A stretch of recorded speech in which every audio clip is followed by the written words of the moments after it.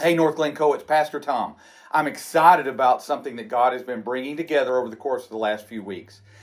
I've been preaching about how important it is that we engage with God's Word. And I've had several people that have come to me and said, okay, so practically, how do I do that?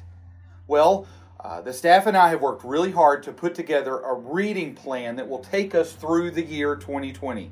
And we'll be able to read through the New Testament together. So I'm very excited about what God's doing, and we'll see you 2020.